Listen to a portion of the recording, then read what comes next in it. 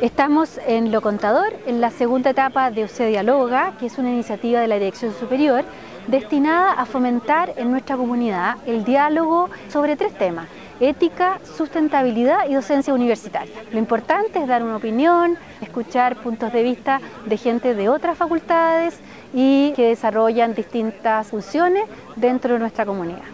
O sea, yo creo que acá hay una responsabilidad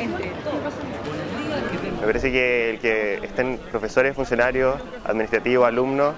eh, acá compartiendo la misma mesa y diciendo las cosas que piensan, es lo que al final del día es lo que arma Luce y lo que arma ese sentimiento común y ese,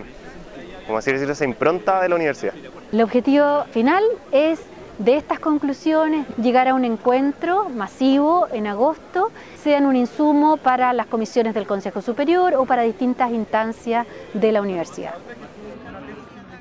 Bueno, les recomiendo participar en esta iniciativa. Fue una experiencia bastante interesante. Yo creo que toda la gente que, estuvo involucrada tenía bastante conciencia de la, relevancia de poder discutir formalmente este tema dentro de la eh, universidad y en particular en nuestra facultad eh, más aún pensando el real impacto que esto puede tener en las políticas públicas de, los desarrollos futuros de la, universidad. Y me encanta, me encanta que se favorezcan estas instancias, que la universidad nos dé espacio para que los alumnos puedan opinar sobre cómo estamos desarrollando la docencia hoy en día, los profesores a su vez también un poco rebatirles las opiniones que ellos tienen, las percepciones que los alumnos tienen al respecto y en general bien, me encantó.